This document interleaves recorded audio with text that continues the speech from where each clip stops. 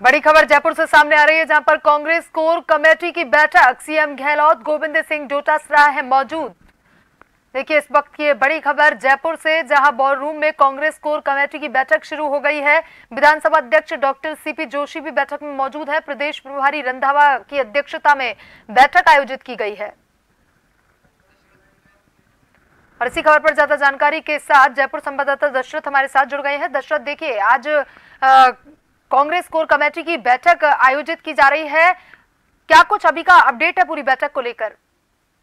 देखिए core committee की बैठक शुरू हो गई है। कोर कमेटी के चेयरमैन हिजेंद्र सिंह रंधावा जो प्रदेश प्रभारी हैं, उनकी अध्यक्षता में बैठक शुरू हुई है। सीएम अशोक गहलोत प्रदेश प्रभारी के साथ ही पीसीसी चीफ डोटासरा मौजूद है, विधानसभा अध्यक्ष मौजूद है।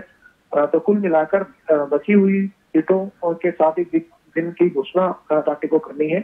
इसके साथ ही? पार्टी के सामने जो प्रमुख विषय है, चाहे ईडी का मसला हो, चाहे दूसरे कोई मसले हो, उसको लेकर एक विस्तृत चर्चा जो है इस बैठक में हो रही है। और थोड़ी देर बाद मुख्यमंत्री अशोक गहलोत, प्रदेश प्रभारी और पीसीसी चीफ मीडिया के मुखातिब होंगे।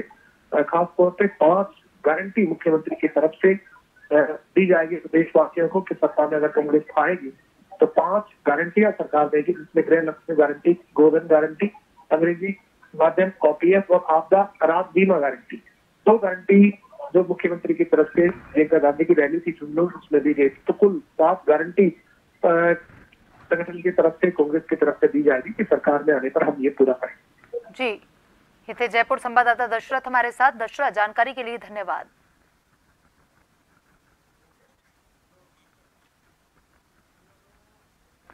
देखिए, आज कांग्रेस कोर कमेटी की पीसीसी वॉर रूम में बैठक जो है, शुरू हो गई है। मुख्यमंत्री अशोक गहलोत के साथ प्रदेश अध्यक्ष गोविंद सिंह डोटासरा भी वहाँ पर मौजूद हैं। साथ ही प्रभारी रंधावा की मौजूदगी में इस बैठक को आयोजित किया जा रहा है। आज गारंटियों की घोषणा करेंगे मुख्यमंत्री अशोक गहलोत।